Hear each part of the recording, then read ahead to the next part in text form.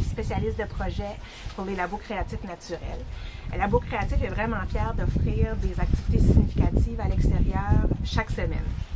Euh, afin de rendre les expériences encore plus significatives, ce que je vous suggère, c'est de créer pour vos enfants ou pour vos élèves euh, des euh, journaux d'exploration avec du matériel que vous avez à la maison.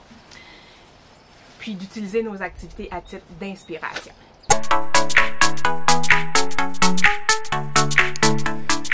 Pourquoi utiliser un journal d'exploration? premièrement, parce que la nature nous réserve une tonne de surprises pédagogiques. Il est possible d'aller à l'extérieur avec une activité planifiée et de revenir à l'intérieur avec une toute autre découverte, et c'est vraiment correct. Un journal d'exploration nous permet de documenter nos découvertes qui donnent un sens aux explorations extérieures et ça donne le goût d'aller plus loin dans nos recherches, et ce, à tous les âges. L'amour de la nature, de l'environnement, c'est un besoin primordial et ça vient avec le temps. Plus on passe de temps à l'extérieur, plus on en connaît, plus on est à l'aise et plus on a envie d'en apprendre. Je dis souvent, on protège ce que l'on aime et on aime ce qu'on connaît.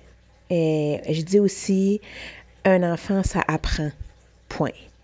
Quand l'environnement d'apprentissage est aussi vaste que ce que la nature nous offre, les possibilités d'apprentissage sont infinies. Donc, pourquoi aller dehors? Mieux connaître pour mieux protéger. En plus, la nature est une ressource gratuite et extrêmement sécuritaire pour veiller à notre santé mentale et le bien-être des enfants.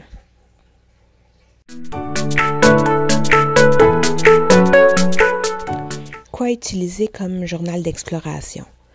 Euh, ben, en fait, des cahiers de type euh, notebook euh, que vous avez à la maison, ça fait vraiment l'affaire. Vous pouvez aussi confectionner votre propre journal en utilisant votre créativité. Ce que j'aime avec ma fille de 5 ans, c'est de réutiliser un vieux cartable à anneaux et de le décorer avec elle. Sur celui-ci, on a fait des dessins sur les deux couvertures.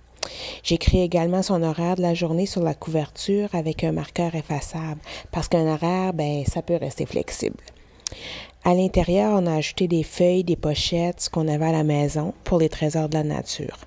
Lorsqu'on sort, elle place une feuille sur une tablette en bois pour lui permettre d'écrire ou dessiner dans l'inspiration du moment.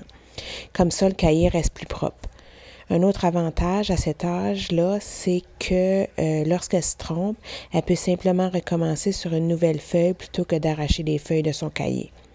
Si vous sortez avec votre cahier, c'est pas un problème. Vous pouvez le placer dans une pochette en plastique pour le transporter. Et le papier, ça sèche au besoin.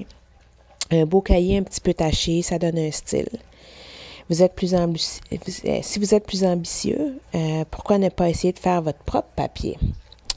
Euh, votre enfant préfère le digital, sortez avec une tablette protégée, prenez des photos, enregistrez des sons et produisez des montages en utilisant Google Slides ou Little Story Creator si vous utilisez un iPad.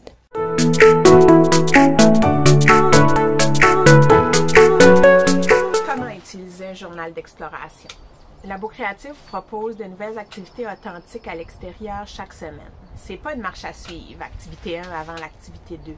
Il s'agit simplement de belles idées pour vous inspirer. Sentez-vous libre de prendre ce qui vous parle, de le modifier, de l'adapter à vos besoins et intérêts. Un journal d'exploration, c'est comme un journal intime, mais en nature. Vous y inscrivez, collez, dessinez tout ce que vous avez le goût de conserver comme souvenir de vos explorations en nature. Vous ajoutez tout ce que vous souhaitez apprendre. C'est souvent rassurant de s'inspirer d'une activité planifiée. On appelle ça un déclencheur euh, parfois. Par exemple, suite à l'activité Adopter un arbre, euh, proposée par Labo, Labo Créatif, ma fille de 5 ans a commencé à se questionner sur les différents types d'arbres dans le sentier près de chez nous. Euh, nous avons donc ramassé des échantillons par terre. Nous avons monté un mini lexique des arbres du quartier. Notre, lexique est en français et en anglais et nous souhaitons ajouter la langue Olastuque et l'espagnol au cours de route, juste par intérêt. Quelques jours plus tard, l'activité Fun Créative proposait une chasse au trésor en nature. Ma fille a décidé de créer sa propre chasse au trésor pour sa grand-mère en utilisant les mots de son lexique. Une autre belle activité significative à l'extérieur. Quels sont les intérêts de vos enfants, euh, de vos élèves? Pour le savoir, proposez-leur une activité fun créatif en nature et demandez-leur euh, de noter leurs observations, leurs découvertes dans un journal. Quelle belle preuve d'apprentissage. Un journal d'exploration s'agrandit au rythme des sorties extérieures. Le premier pas est d'en créer un, de se planifier une première sortie à l'extérieur et la suite se fera naturellement. Euh, merci de partager vos découvertes sur les médias sociaux en, en identifiant labo créatif, naturel ou fun créatif.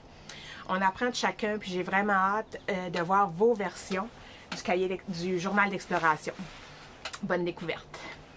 Mes amis enseignants, proposez un cahier d'exploration à vos élèves. Ils vont écrire, et ils vont lire, ils vont apprendre, puis ils auront une belle preuve d'apprentissage à leur retour à l'école en septembre tout ça en passant beaucoup de temps dehors, en améliorant leur santé mentale et physique. Si vous avez besoin d'appui, n'hésitez pas à me contacter, moi ou euh, mes collègues, euh, par les réseaux sociaux de Labo Créatif. Ça va nous faire vraiment plaisir de vous appuyer dans cette démarche-là. À la prochaine!